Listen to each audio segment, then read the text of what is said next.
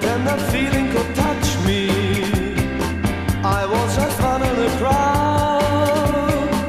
Now every time that you touch me, I feel like shouting out loud.